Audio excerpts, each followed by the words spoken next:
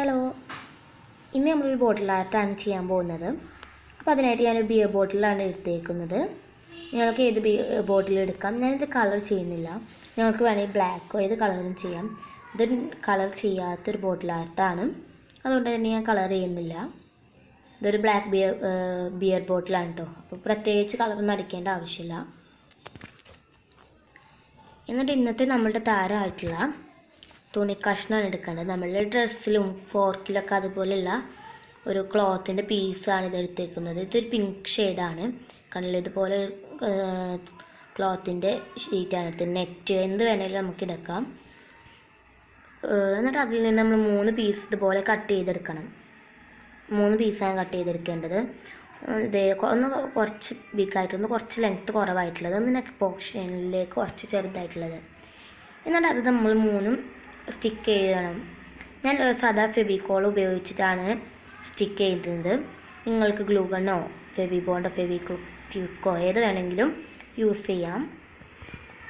എന്നിട്ട് നമ്മളത് ഫെവിക്കോൾ ഉപയോഗിച്ചിട്ടാണ് ഞാൻ നല്ല എണ്ണെന്ന് നമ്മൾ ഒന്ന് പശ വെച്ചിട്ട് ഒന്ന് ഒട്ടി ഒട്ടിച്ചു കൊടുക്കണം. അതിനു മുമ്പ് ഇതുവരെ എന്റെ ചാനൽ സബ്സ്ക്രൈബ് ചെയ്തിട്ടില്ലെങ്കിൽ പെട്ടെന്ന് തന്നെ സബ്സ്ക്രൈബ് ചെയ്തിട്ട് അടുത്തുള്ള ബെൽ ബട്ടണും കൂടി ഒന്ന് ക്ലിക്ക് ചെയ്തിട്ട് അതിൽ ആൾ എന്ന ഓപ്ഷനും കൂടി ഒന്ന് എനേബിൾ ചെയ്യണം കേട്ടോ. വീഡിയോ ഇഷ്ടപ്പെട്ടാൽ ലൈക്കും കൂടി ചെയ്യുക.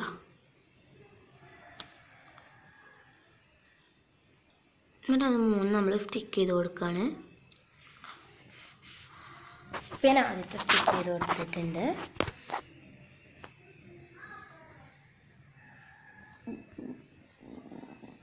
ഇനി രണ്ടാമത്തത് നമ്മൾ സ്റ്റിക്ക് ചെയ്ത് കൊടുക്കണം. അങ്ങനെ നമ്മൾ രണ്ടാമത്തത് മൂന്നാമത്തത് ഒക്കെ സ്റ്റിക്ക് ചെയ്ത് കൊടുക്കുക.